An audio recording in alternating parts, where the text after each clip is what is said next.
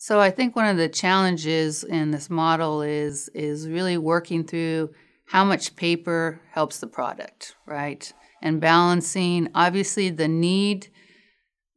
and and the need to for the contractor to provide evidence of their assertion, right? And so so that's really um, that's really the struggle and and the negotiation that you that we we have always had as we're working through with industry partners. So I I think that the most important thing is really are we, are you keeping the number of requirements to a minimum, right? Um, because the requirements themselves will drive the ver- verification process itself. And then and then it's really critical to begin that negotiation process up front about what level of verification information and data is really needed to be handed over and archived versus what amount can be developed through um, insight, what we call insight, by by the engineers being there at test and observing, you know, by um, and, and so you're always balancing um, negotiating the minimum amount of paper because there still has to be a record of the work that's done and key aspects of the, of the analysis and the assertion of the work that's done to close out the paperwork. But, but you want to negotiate that as much as possible with the partner up front so that they can put that into their workflow and make sure that they're understanding the amount of work it's going to take and then be able to time that work in a way that that then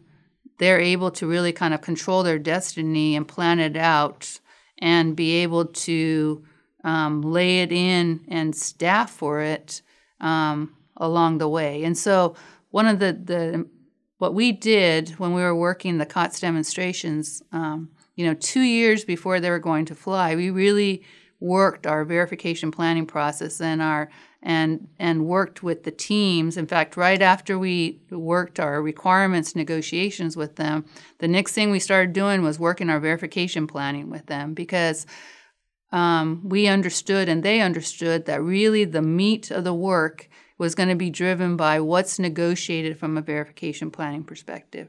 And so you need to get that kind of nailed down so then they know what the target is and and what they're going to need to be able to and and also it gives them an opportunity to find out when's the right time for them to be able to supply the information that you need right? In some cases it's pretty easy if you're running a test just to go at that point print out that sheet and go oh i know i'm going to have to give this to them later on right? But if you have to you know, at the very end, if you negotiate, go back and go back through the archival and go look at all this, you know, then it's very, very more time consuming to be able to show that verification information.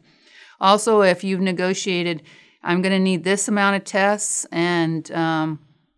and the engineers can go out and see the test and conduct it. There may be a little bit less amount of data that then the the providers have to show from a final report perspective for for the subject matter expert to sign off on the verification closure notices at the end. So, what's really key is to always um, try to minimize that requirement set, be as clear as possible about what's going to be required at the end so that the industry partner can really time when is going to be the best time to collect the data and be able to do it in the easiest manner possible.